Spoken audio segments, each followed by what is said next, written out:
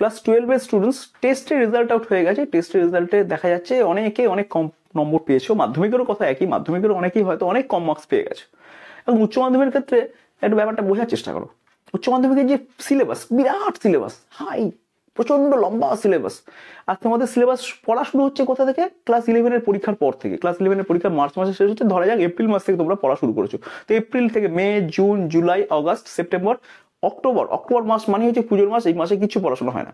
November এলেই তোমার test হচ্ছে। তাহলে তুমি পড়াশোনার জন্য কত মাস টাইম পাচ্ছ? পাঁচ মাস। আর তোমাকে কতগুলো ইউনিট পড়তে হচ্ছে? প্রচুর ইউনিট পড়তে হচ্ছে এবং প্রচুর হাইলি ডেপথওয়ালা ইউনিটগুলো তোমাকে সামলাতে হচ্ছে। তো স্টুডেন্টস অবভিয়াসলি এত কম সময়ের মধ্যে এতগুলো ইউনিটকে সামলে সিলেবাস শেষ করে প্রিপারেশন নিয়ে মক টেস্ট দিয়ে নিজেকে তৈরি করা নেক্সট ইম্পসিবল তাই স্টুডেন্টস হায়ার সেকেন্ডারি পরীক্ষার সমস্যাটা হচ্ছে মানে হায়ার সেকেন্ডারি লেভেলের সিলেবাসের সমস্যাটা হচ্ছে যে এই সিলেবাসে হয়তো যে ধরনের প্রশ্ন হয়, খুব কঠিন প্রশ্ন, ভয়ানক শক্ত প্রশ্ন, এরকম প্রশ্ন হয় না। প্রশ্ন হয় যে অনেক জায়গা থেকে প্রশ্ন হয়। তো সিলেবাসের অনেকটা সিলেবাসের লেন্থ অনেক বেশি, প্রচুর ফর্মুলা আছে। তাই গোটা সিলেবাসটাকে মগজের মধ্যে রাখাটা খুব চ্যালেঞ্জের হয়ে যায়। ফলে পরীক্ষার সময় কোশ্চেন যদি সিম্পলও হয়, তাও স্টুডেন্টদের কাছে খুব মনে হয় যে ভয়ানক প্রশ্ন এসছে। যথারীতি সেই পরীক্ষাটা খারাপ দিয়ে আসে এবং টেস্টের রেজাল্ট তার খারাপ হয়। এবার টেস্টের রেজাল্ট খারাপ হবে এটা- এটা একটা, আমি মনে করি একটা স্বাভাবিক ঘটনা। খুব ব্রিলিয়ান্ট স্টুডেন্ট ভয়ানকভাবে মানে এনকারেজ হওয়া স্টুডেন্ট প্রথম থেকে একদম প্ল্যানিং করে পড়েছে যদি এরকম হয়ে থাকে, তাহলে হয়তো তার টেস্টের রেজাল্ট ভালো হবে।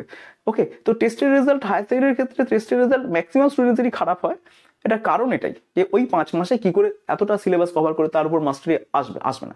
তো স্টুডেন্ট ভয় পাওয়ার কিছু নেই টেস্ট রেজাল্ট খারাপ হয়েছে, কিন্তু তোমাদের হাতে এখনও প্রচুর সময় রয়েছে। ডিসেম্বর গোটাটাই রয়েছে জানুয়ারি গোটাটাই রয়েছে ফেব্রুয়ারি গোটাটাই রয়েছে। তো এই তিনটে মাস কে সাংঘাতিকভাবে ইউটিলাইজ করা যেতে পারে। প্রথমত তোমরা ধরে ধরে প্রিভিয়াস ইয়ারগুলো সলভ করো দু হাজার পনেরো সাল থেকে দু হাজার বাইশ সাল পর্যন্ত। একটা প্রশ্ন বাদ দিও না, আর তারপরে মক দেওয়া শুরু করো। তো এই যখন এই প্রসেসগুলোর মধ্যে তুমি ফ্লো করবে, তখন দেখতে হবে সিলেবাসটা তোমার হাতের মুঠে চলে এসেছে।